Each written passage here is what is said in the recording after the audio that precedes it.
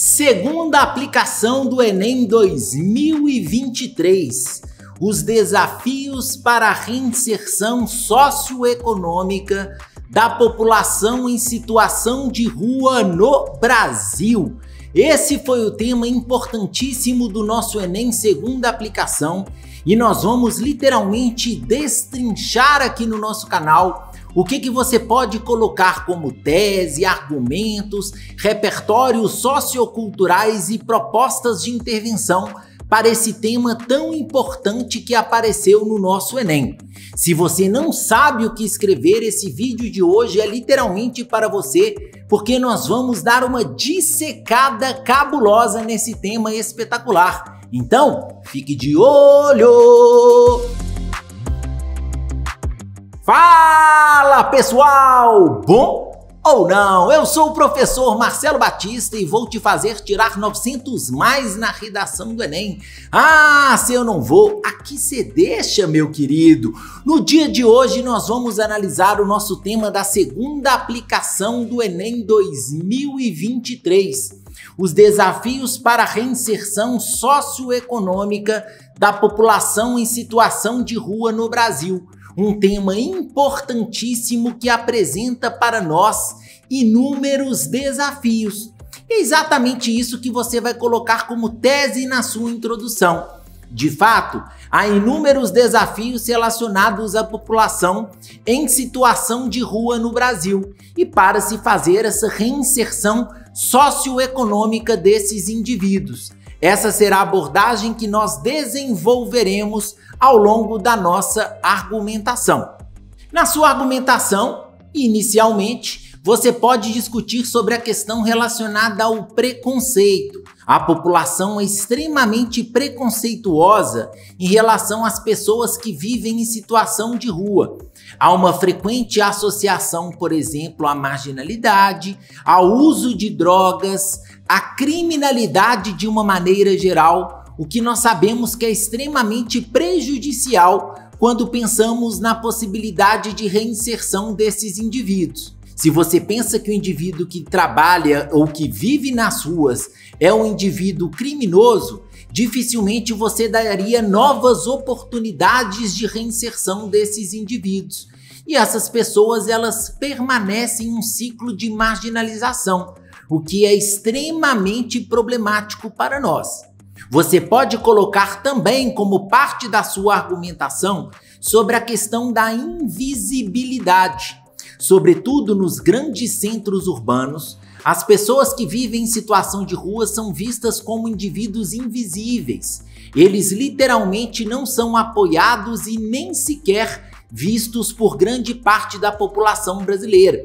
Eles passam a ser como um elemento da paisagem, eles passam a ser vistos como inferiores quando vistos na sociedade brasileira, que nós sabemos que de fato é um grande desafio. Esse desafio tem uma relação direta com a questão da desigualdade social no Brasil. Nós temos um país em que muitos têm pouco e poucos têm muito no que diz respeito aos recursos financeiros.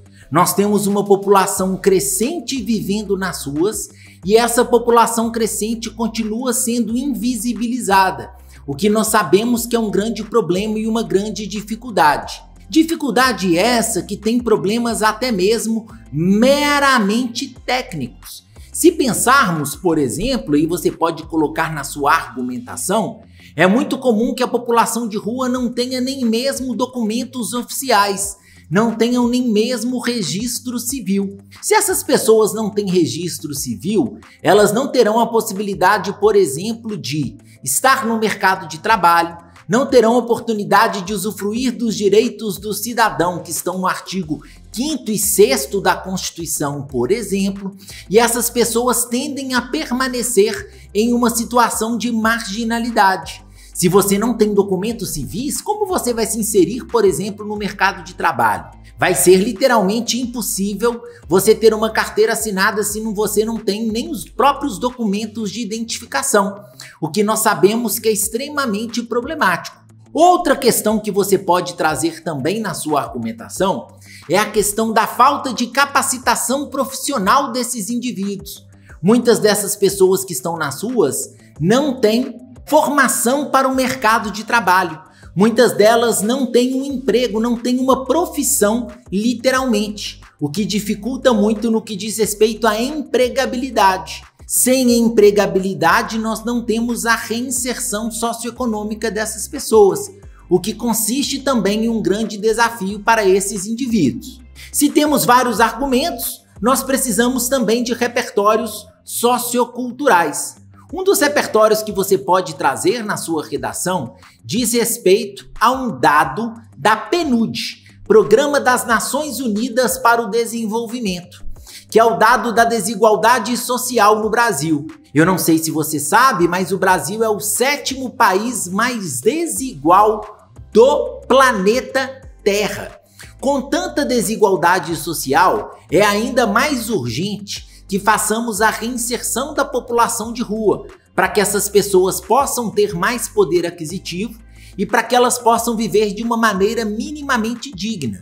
Mas o que elas encontram, na verdade, é um contexto de grande preconceito e invisibilidade. Você pode discutir e pode trazer no seu texto um conceito muito interessante como repertório sociocultural, que é o conceito de aporofobia, da filósofa espanhola Adela Cortina. Adela Cortina ela discute sobre a aporofobia, que seria basicamente o preconceito relacionado às pessoas mais pobres.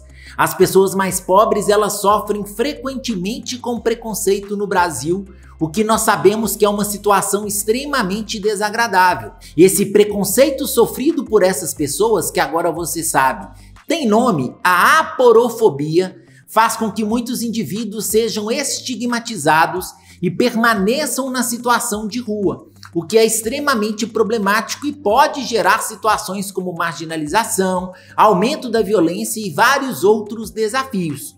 Você pode trazer como repertório sociocultural também um projeto muito interessante que é o SP Invisível. Esse projeto especificamente, ele faz o caminho contrário.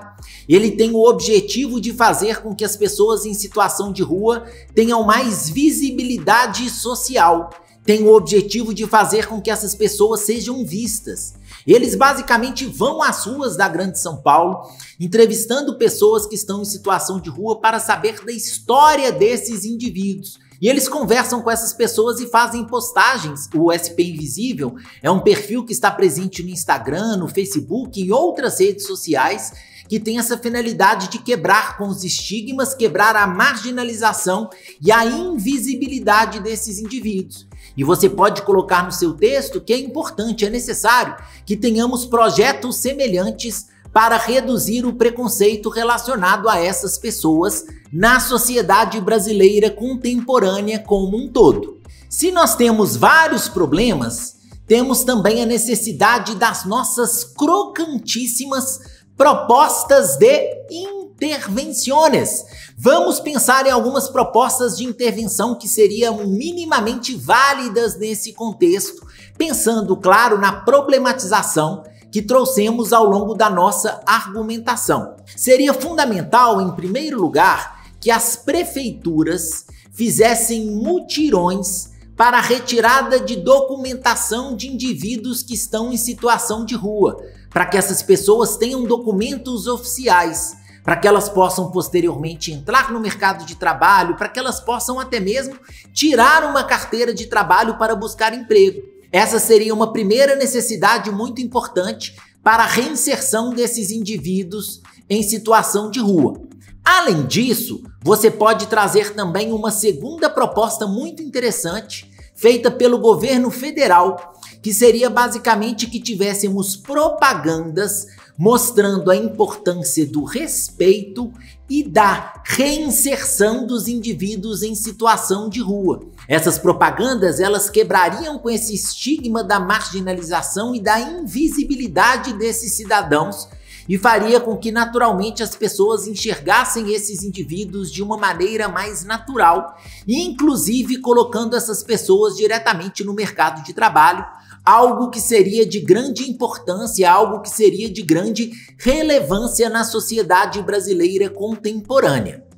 Por último, nós podemos colocar como função do Ministério do Trabalho a questão da possibilidade de oferta de cursos de capacitação e profissionalização para a população que vive em situação de rua, para que essas pessoas tenham a capacidade profissional de desempenhar determinadas profissões e para que elas sejam assimiladas pelo mercado de trabalho de uma maneira geral, o que seria extremamente importante e de grande relevância. E você, fez a segunda aplicação do Enem? O que, que você colocou na sua argumentação, nos seus repertórios socioculturais, hein? Conta pra mim, abre esse coraçãozão que eu quero te escutar. E se você quiser mais conteúdo de redação e se você quiser conhecer os meus cursos online, me adicione também no arroba aprendi com papai no meu Instagram. Lá você terá sempre informações importantes de redação e também sobre os meus cursos oficiais. Beleza, meu povo? Valeu demais, um grande abraço para vocês, até a próxima e tchau, tchau!